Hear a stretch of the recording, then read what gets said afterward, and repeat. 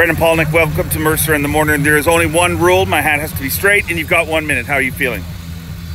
I'm feeling excited, a little confused, uh, but mostly excited. I had no idea what to expect yesterday.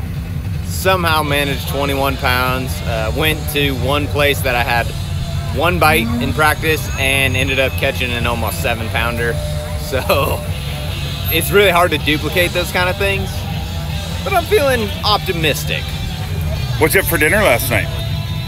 Chinese hash. Favorite ice cream? Oh man.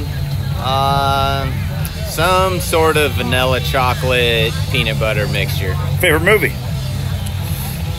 Ooh. Maybe Vision Quest. Favorite tournament MC? We're out of time. Dave Mercer.